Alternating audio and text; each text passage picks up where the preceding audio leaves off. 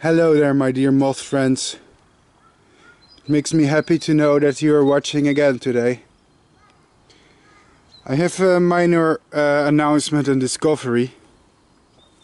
Because uh, when I was in Laos and Cambodia for two months, I've uh, been collecting some cocoons of uh, different Saturnids I found in these countries.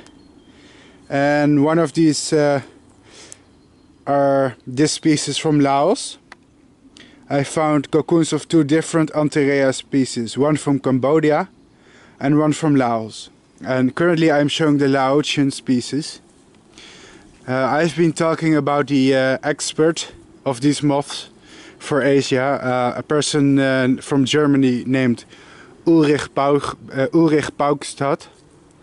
And Ulrich has a research collection and uh, published a lot about these wild silk moths of Asia and he thinks this uh, could be Antheraea luteofrithi which is a species that looks like Antheraea frithi and is quite variable.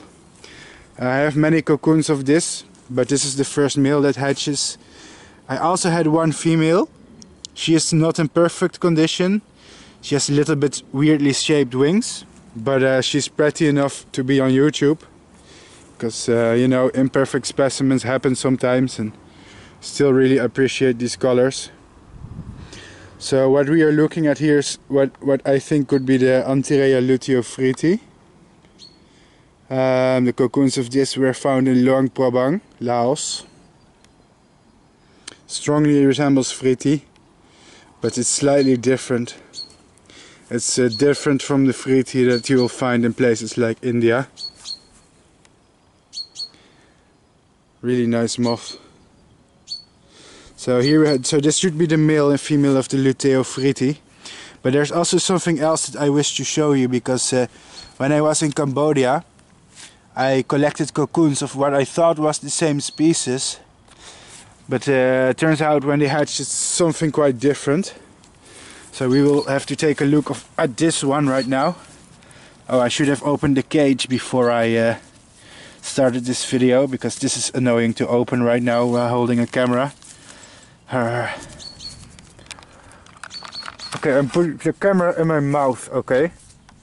There we go. Sorry for that. Okay, let's open it up. Ah, there we go. And here we have uh, the Cambodian species. So, to me this really looks like a different species and uh, some of you will say yes, the moths in the Antheraea frithi complex they are very variable, blah blah blah. But uh, to make it clear, here we have the one, the species I found in Laos. Here we have the moth I found from Cambodia. Laos, Cambodia.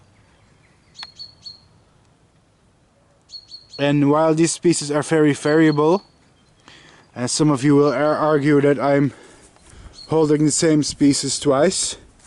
I have some more evidence to present you that uh, could suggest that they are different species.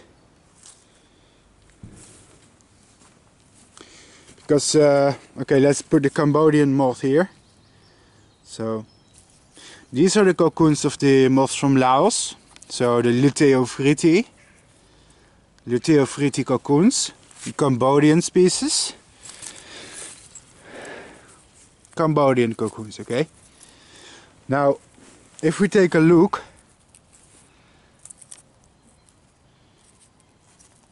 you will see that the cocoons are different and maybe it's best to see this in a different light okay? Because uh, there's a color difference actually and a size difference. So on top here we have the Luteofrithi cocoons as you can see they are yellow brownish and big and egg-shaped. And here we have the Cambodian species which has silver cocoons and smaller. These cocoons are also a little bit softer than the tough Laotian. But can you see the difference? Laos, Cambodia. Do you see it? White yellow. So this is, and I'm not saying that you can ID space pieces solely based on their cocoons, but to me this is a strong indication that these populations are two populations of two different species, okay? That's what I think. Now, what are they really?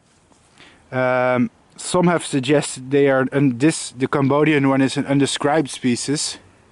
Now, that would be very spectacular if that's true, but uh, I don't want to count my chickens before they hatched, okay? I'm not gonna scream around and say, wow, I discovered a new species before researching, because taxonomy is actually difficult academic work. And it takes things like DNA sampling, uh, having a reference collection, morphology, taxonomy, etc. So uh, if you're gonna watch my videos, I will update, update uh, you on this in the future. I'm gonna bring DNA material of the Cambodian moth all the way to Germany in a place called uh, Wilhelmshaven. And here in Wilhelmshaven, I uh, will bring a DNA sample to uh, Ulrich, who is really an expert, even more an expert than me. Because honestly, I'm just a hobbyist, but he is a true scientist. So he can help me find out what this really is. And that's it for now. Thank you all for watching and uh, until next time.